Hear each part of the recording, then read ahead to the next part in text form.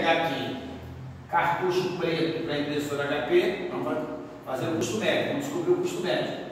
Estoque atual, 24 cartuchos por 155, certo? 24 cartuchos por 155 unidades. Uhum. Certo? É igual a quanto? 24 cartuchos, 3.720. 3.720, tem certeza?